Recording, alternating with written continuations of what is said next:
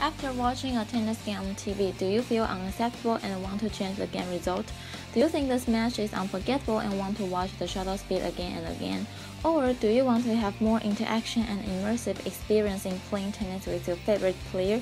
Here we introduce an interactive tennis game system, which is called Tennis Role Play, constructed with models extracted from real tennis videos. The key techniques proposed for tennis role play including player modeling and video-based player court rendering. All the details will be covered in the following video. With the proposed World Tennis Role Play, working with your favorite player to win a grand tournament or even competing with your favorite player is no more a dream.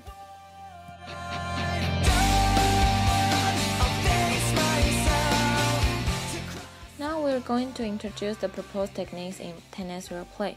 First, we need to separate player and the tennis court apart.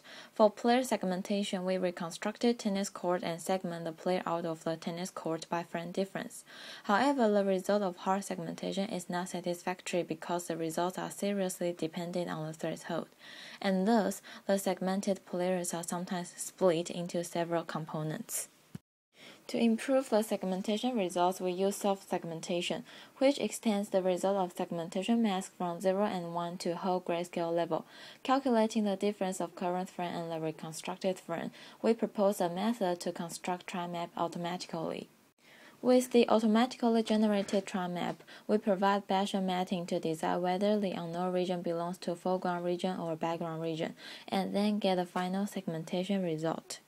After that, we gather various motion directions and different hitting postures of player database. The size of each player is different due to the camera's zoom in and zoom out parameters and the position of the player on the court, which results in uncomfortable vision experience. To overcome this, a fiducial coordinate is proposed. We project player's position in video frame onto fiducial coordinate and normalize player size by calculating the partial differences to get the magnification ratio according to the player's position on the fiducial court. Here we show the normalization results. All the players have the same size and move in real motion trajectories. Then we move on to the hitting postures. With the analysis of ball trajectories, we detect when a player hits the ball and analyze the strength and direction of every hit. After gathering hitting data, we generate the statistics report of the player's characteristics, which comes out to be important information for further rendering. Gestures and activities of play are various and continuous. It is hard and difficult to render a vivid play without a model. Thus, we build a play behavior model consisting of serving, standby, hit, and moving states. Arrows stands for allowable state transitions. All actions of a player can be composed by these states. To generate arbitrary direction of motion, we propose clip selection for moving of the player. As the figure shows, gray curves around point A are the trajectories of gathered motion clips and also the possible moving direction of the player. After selecting several smaller clips, we cascade them to create a new and longer one.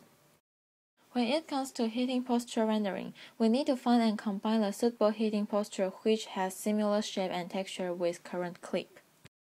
Because it is difficult to find perfect match for two video clips, we introduce morphing technique to smooth motion transition after selecting suitable cascading clips.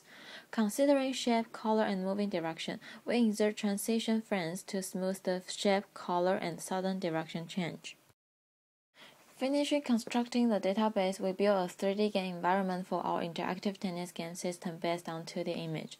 The 3D tennis court is constructed by seven boards, which are marked as red quadrilaterals. After constructing the 3D model, users can change viewpoint as they like. With the position of virtual camera, we can render the 2D scene from 3D model. By changing the camera position, users can experience different visual effects of the game image. In addition to that, the 3D game model can be combined with our video-based rendering, which provides more vivid visual effect and interesting game result. For the interface dialog part, we use Wiimote to control the player. To recognize the signal from Wiimote, we detect the signal of acceleration in XYZ axis as features of input signal, and use SVM classifier to recognize different signals. At the end of this video, rendering results of tennis roleplay and our live demo are shown.